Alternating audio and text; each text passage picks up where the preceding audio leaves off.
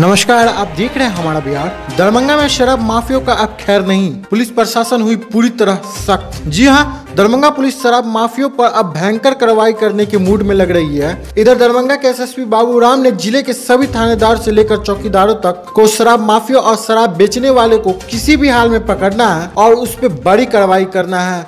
अगर इस संबंध में कोई भी थानेदार के बारे में ढिलाई की खबर निकल के सामने आती है तो उस थानेदार को तुरंत निलंबित कर दिया जाएगा। ठीक इधर एसएसपी बाबू राम ने हर थाना के क्षेत्र में शराब माफियों का नाम सार्वजनिक कर उसके पता के साथ सभी थाने में पोस्टर लगवाया है, जिससे इन शराब माफियों को एक्सपोज किया जा सके। इधर विश्वविद्यालय और नगर थाना में शराब माफियों का पोस्टर लगा दिया गया है, जिनमें शराब माफियों का नाम और उसके पता भी दिखाया गया है। इधर विश्वविद्यालय थाने में लगाए गए पोस्टर में पहला नाम दिनेश महतो है, जिनके पिता का नाम धर्मदेव महतो, जो कि धर्मपुर निवासी है। वहीं लक्ष्मण पासवान, पिता पंचू पासवान, जो कि लक्ष्मी सागर गैस गोदाम के निवासी है।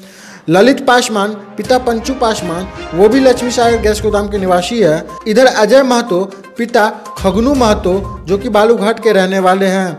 गुड्डू महतो, पिता खगनू महतो, वो भी बालूघाट के रहने वाले हैं। इधर सन्नी कुमार पिता शंकर पासवान, पता चुना भट्टी के रहने वाले हैं। अमित पासवान, चुना भट्टी के रहने वाले हैं।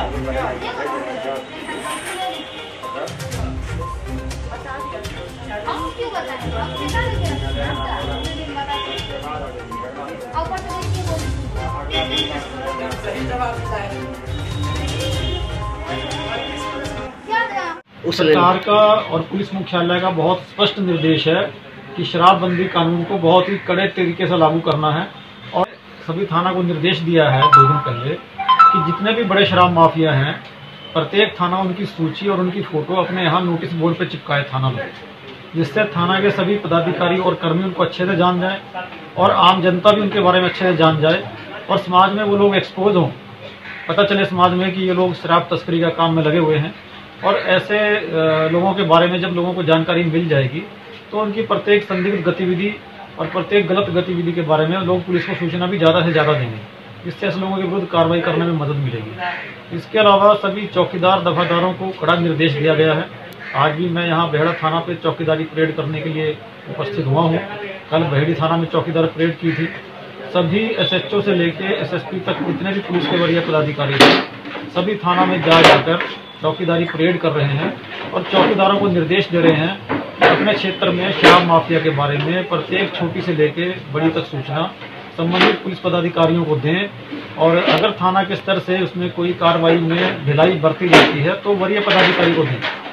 अगर वो सूचना नहीं देते हैं तो उनके विरुद्ध शराब माफिया के साथ मिली भगत करने के आरोप में न केवल कड़ी अनुशासनिक कार्रवाई की जाएगी, उनको बर्खास्त किया जाएगा, बल्कि एफ़ में भी उनका नाम डाल के गिरफ्तारी की जाएगी। अगर उन्होंने अपनी वरीय पदाधिकारियों को शराब तस्करों के बारे में सूचना दे दी तो उनको उनके उत्तरदायित्व से मुक्त समझा जाएगा और फिर संबंधित पुलिस पदाधिकारी की ज़िम्मेदारी होगी, संबंधित शराब माफिया के विरुद्ध कार्रवाई करने की।